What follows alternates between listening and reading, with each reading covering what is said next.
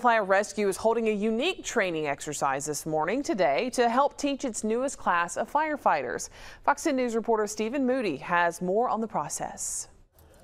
The Mobile Fire Rescue Department training staff and on-duty firefighters spent Thursday morning teaching extrication techniques to its newest class of recruits. Today, the big thing is them actually getting the hands-on training with the vehicle extrication tools that we utilize here at the fire department. What they're doing is actually getting the hands-on portion of their training utilizing the hydraulic tools that we carry on the fire trucks every day. They did so with the help of Barry Jou Pullet, the company once again donating wrecked vehicles for educational purposes. And as they get closer to real life scenarios, these recruits are thankful for this experience. Being able to be proficient, quick, on time with it, and just make sure we get them in and out safely as possible, that's just the best thing.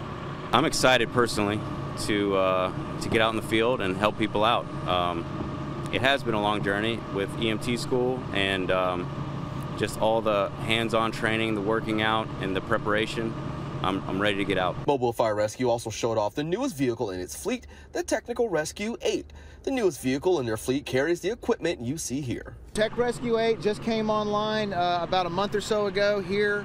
Uh, it is probably one of the better pieces of equipment that we utilize because it allows us to have a uh, an expanded inventory of extrication tools and special equipment that we can utilize in a much quicker means.